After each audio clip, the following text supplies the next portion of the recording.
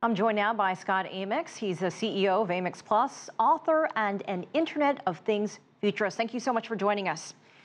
My pleasure. So, Scott, in our story, we heard the term game changer. How significant is this quantum computer development, and, and really, what does it mean? Well, I think precisely what it means is that it is a significant milestone towards a universal quantum computer. Very important milestone is that we're starting to emerge out of the research era to commercialization. And I think China is very much leading the frontier with the satellite in terms of quantum teleportation, as well as uh, the super, uh, super uh, uh um, uh, quantum computing prototype that's been developed here.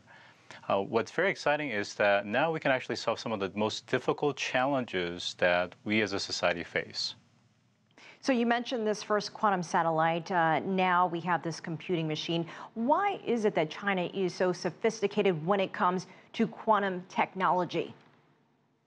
Well, I think overall, one of the things that China has done tremendously well is that they're outpacing intellectual property and patent development, and they're outpacing any other nations um, in, in, history.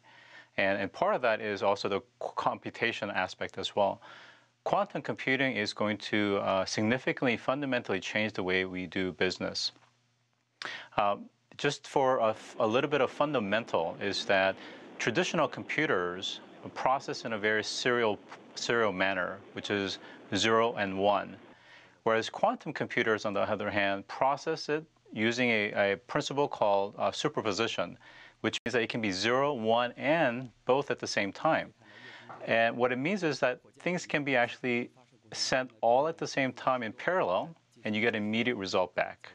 So you mentioned uh, the importance commercially, the quickness of this all, but in real people terms, how would this impact your life and my daily life? Well, there's a saying, uh, finding a needle in the haystack. Uh, that is a very difficult thing to do, but with quantum computing, now you can actually isolate down to a specific sand particle out of all the sand in the world.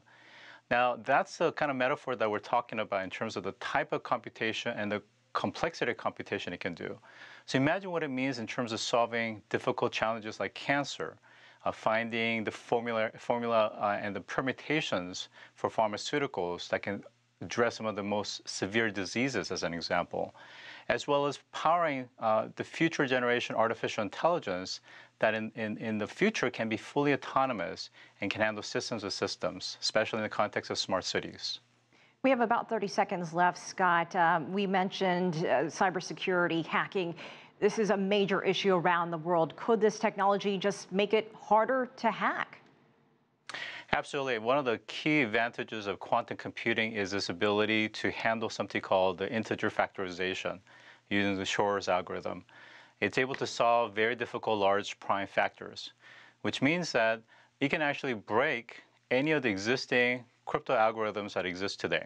More importantly, when you develop cybersecurity solutions on a quantum computer, it cannot be hacked. By the sheer principles of uh, entanglement, just the fact that you have a third party that's trying to observe it, it will actually change the result. And this is exactly what is being tested using that satellite uh, for the next two years. All right, Scott Amyx in New York City, thank you so much for joining us.